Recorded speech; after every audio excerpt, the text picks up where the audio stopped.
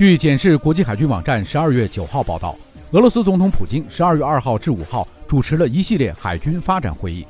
普京在会上表示，根据国防采购计划，俄罗斯海军二零一九年接收了超过四百八十套武器系统，其中包括两艘潜艇、二十三艘水面舰艇和保障舰船、三架舰载机、四套机动式岸防导弹系统以及四百余种导弹和鱼雷武器。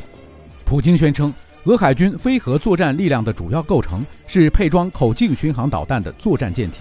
这些舰艇可摧毁一千五百公里内的目标。根据俄罗斯国防采购计划，俄海军装备口径巡航导弹的舰艇数量将在二零二三年前翻一番。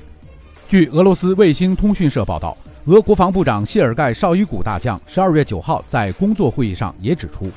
必须扩大俄海军序列中远海区战舰的数量。其中包括增加配装口径巡航导弹和锆石高超音速导弹的战舰数量。在水下力量方面，俄官方通讯社塔斯社曾于今年八月二十三号报道，俄海军将在二零二零年接收四艘核动力潜艇和两艘常规动力潜艇。俄海军上一次接收这么多潜艇，还是在苏联解体后的一九九二年。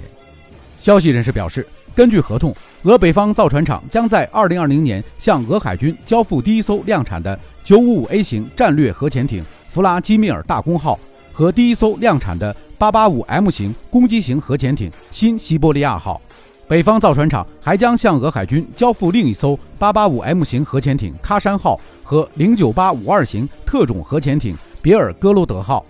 除此之外，俄海军还会接收一艘基洛级常规动力潜艇和一艘拉达级常规动力潜艇。